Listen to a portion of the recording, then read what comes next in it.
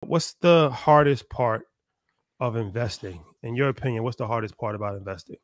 You're a great executive producer because I you gotta let the beat build. We gotta let the beat. We gotta let we gotta let some more people get in here. Share, hit the like button. Yes, and share. Share with five people. Share with your baby daddy, baby mama, your auntie, uncles. We're gonna have a time tonight. Um, the hardest part is staying invested for a period of seven years. Um, a famed hedge fund investor, Jim Chanos, is now shutting down his fund. He he was a perma bear. And what worked in 2008 does not work in these market conditions. Please put in chat the market is permanently rigged to stay up. The market is permanently rigged to stay up. So even though there's all this disaster amongst the economy, the Nikkei, the Japanese market is up. Uh, Nasdaq is moving higher. Microsoft is moving higher. Nvidia is moving higher. Um, IWM calls for the Russell 2000 are going up as a result. The Dow is doing pretty good, and almost XLK that we've talked about before is moving higher. So it looks like third year into a presidential year, even though the leadership isn't great. It looks like the market will be up 20% for the year mm-hmm. by the time we get to December. Um, there's a lot of criticism, and the polls were not favorable for Biden. But the one thing that he will have going for him going into the election is that the stock market has done well um, relatively this year, despite all of the economic turmoil that is there. So the biggest decision and the hardest thing about investing is just staying long, pause, in a position, pause, long enough, pause, to see profitability. I, am begging you guys, seven years. Please put in chat I'm going to hold for seven years, no matter what. Buy quality. We've told you which ones to buy. For those of you who haven't listened, I'm sorry. It may be time to jump off a balcony. But for those of you who have, I commend you. I appreciate you and I love you dearly. But stay long. Being a perma bear is a uh fool as fool's errand for sure. And an idiot's mistake to not be long in the stock market. By no means are we telling you to jump off uh, of anything. Uh, yes, but theoretically, I, I think theoretically, I, I think you're right. Um, if the one word I could say, which that is the toughest thing to do, is to be patient. Um, you, you got to be built for this, right? So when hand, yep. when we we saw the excitement of people having gains in 2020, we saw that continue into 2021, uh, and then those same people we didn't hear from in 2022, and that's part of this this roller coaster ride. That's the market. But in the end, like you said, it is pinned to to always uh, appreciate over time. It's just that yeah. when it goes down, like we saw it go down in 2022, it hurts. Um, and so you got to be patient. These are the times where your patience are, is going to get tested, and what kind of resolve will you have, and what kind of discipline will you have, and what kind of lessons will you learn from these times. And so, if you took those lessons from 2022, then you were able yeah. to readjust, reapply, and reassure yourself in the work. Right. So 2023 comes, and now again when we had these calls in early January. Now you're starting to see some of the, the, the fruits of labor of those lessons that you learned during the three Absolutely. years. I think this past four years we've we've seen a microcosm of the history of the market. We've seen a recession, we've seen a bull market, we've seen a bear market, uh, we've seen interest rates rise, we've seen inflation rise, we've seen presidential uh, cycles. We've seen it in the and this yep. just three years. We've seen everything you've kind of needed to see to really test a market over the, the, uh, from a historical standpoint. And so now that you've seen it and you've been through some of it, what kind of resolve will you have now? How patient will you be now? Um, because history is likely to repeat itself. Mm-hmm. Uh, and we know what's ahead of us, right? We know technology is here. We know that there's a threat of a possible recession, but we've seen these signs before. So I think being patient is probably the number one thing, the number one thing that inside of the market that is challenging for me personally, but I think for a lot of people as well.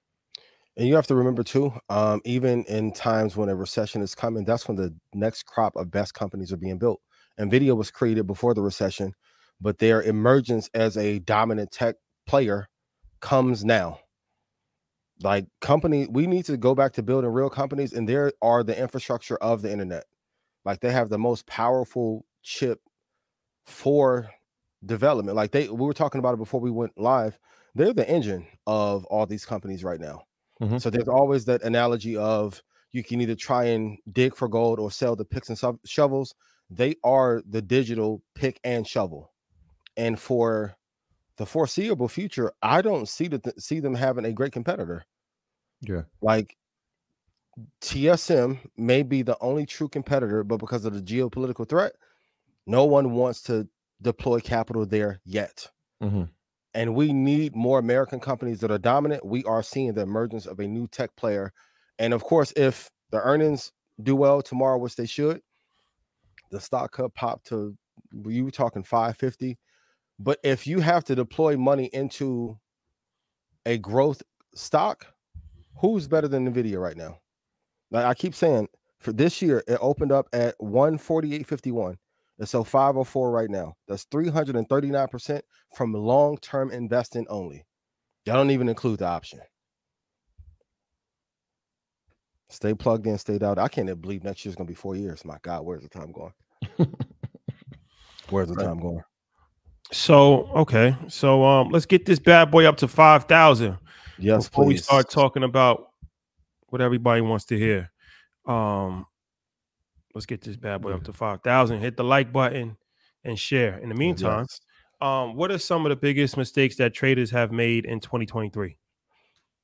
Uh, I was talking about this a little bit earlier, but I think one of the biggest mistakes um, is not being invested long term to understand where the market is truly going when you're trading short term. So, in order to be a great short term investor or day trader, you have to be a good long term investor first. So, if I wake up and my portfolio is up, so when I woke up today, saw Nvidia and Microsoft had pushed up overnight. Microsoft made a new all time high before the market opened. Nvidia was floating after that. That immediately told me the direction of the market to go. Um, secondly, not sticking to one target whether you're in options, futures, crypto, forex, please put in chat. I'm going to marry one target. And third, deviating from plan. I know y'all tired of me saying it, but I got to keep saying it because not enough of you guys are winning at a high enough rate. Stop changing your plan. If the plan for Market Mondays is to go live or put out content every Monday, we can't put the content out on Wednesday when we feel like it. So, in your trading plan, less is more. Someone asked me earlier today, like, do I try and be at a certain amount of trades by the time the holiday season comes? You can't trade like that. You have to trade when the move is there.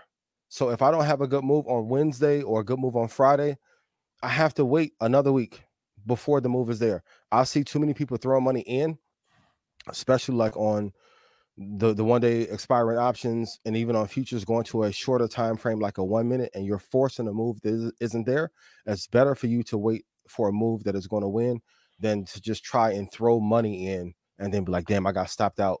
And now it erodes your confidence. Less is going to be more, but one target, be a long term investor to turn into a great short term trader and stop deviating from your plan.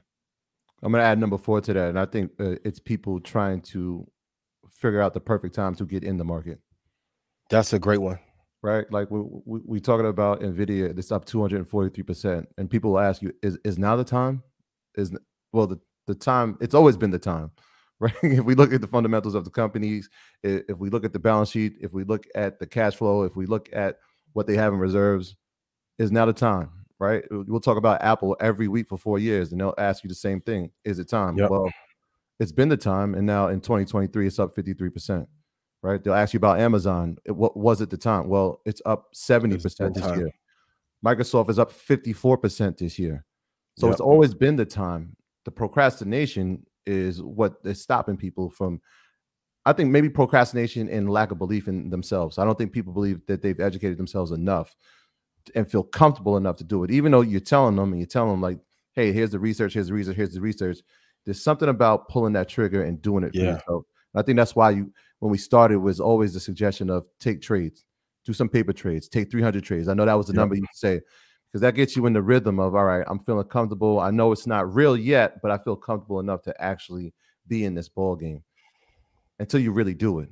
Yeah. And then again you'll start learning those lessons about being patient like those things will come with it. But i think people trying to figure out is it time? Is it time? It's like double dutch right? Like you just wait for the perfect time to jump in and there's then no perfect time there's no perfect time you yeah. just have to put your you, you have to put you know some skin in the game really and one thing I think we all can agree upon, Rashada talked about this a lot, especially at like the live shows this year, is like the regret of not starting earlier. Like we all look back and be like, we should have launched this five years ago.